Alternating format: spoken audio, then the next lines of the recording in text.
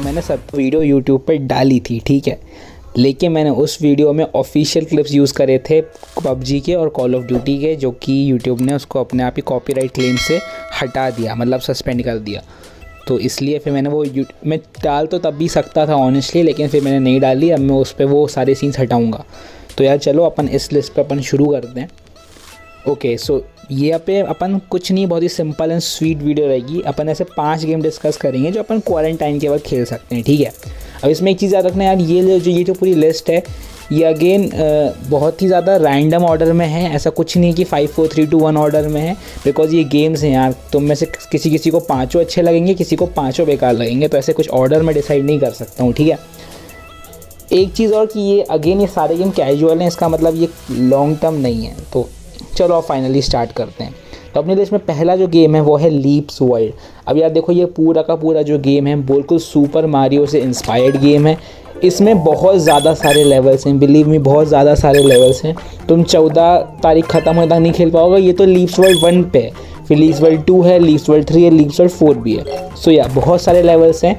Mario की copy नहीं है मारियो से इंस्पायर्ड है you can totally play play with it okay the second game in our list is two three four अब यार देखो, ये एक मल्टीप्लेयर गेम है, लेकिन एक ही डिवाइस पे चलता है। बेसिकली तुम्हारे फ़ोन में होगा ये। और ये अपनी फैमिली के साथ खेल सकते हो, अपनी मम्मी, पापा के साथ।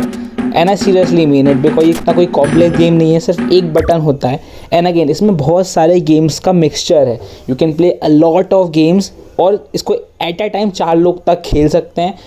जिस वक्त मैं ये वीडियो रिकॉर्ड कर रहा हूँ उस वक्त चार से ज़्यादा लोगों का ऑप्शन नहीं है बट उन लोगों ने डिस्क्रिप्शन में डाल रखा है we are riding more players so तुम समझ सकते हो ठीक है?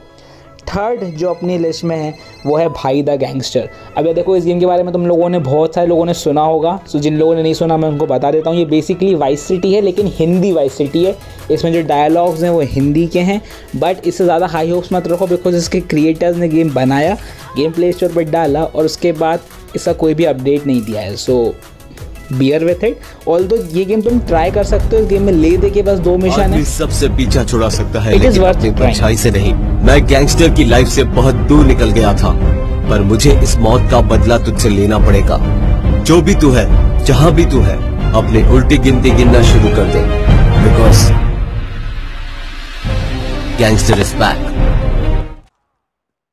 जो फोर्थ गेम है अपनी लिस्ट में उसका नाम है जॉनी ट्रिगर ओके सो इस गेम में बेसिकली तुमको टैप करना है। All you have to do is tap बाकी ये गेम विजुअलाइजेशन का ज़्यादा है। बेसिकली वो खुद ही भागेगा, खुद ही लंबी लंबी अच्छी अच्छी जंप्स करेगा।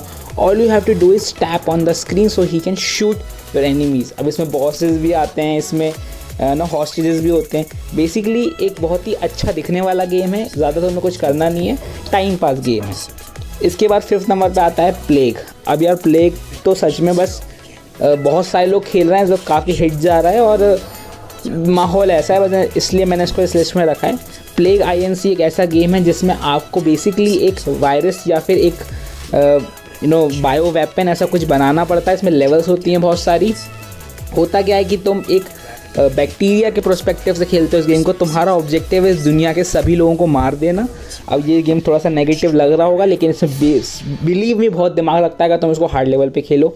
तुम्हें अपने पैथोजन को बेसिकली बहुत ज़्यादा डेवलप करना होता है, उसको सिम्टम्स बढ़ाने पड़ते हैं, वो ट्रांसमिट कैसे होगा तुम्हें, वो सब बढ़ाना पड़ता है।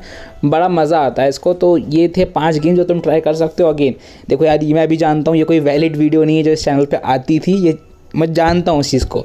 लेकिन यार मैं कोशिश कर रहा हूँ कि जो अब मैं क्लिप्स यूज़ कर रहा हूँ उसको यूट्यूब क्लेम ना कर पाए कोई। सो so, यार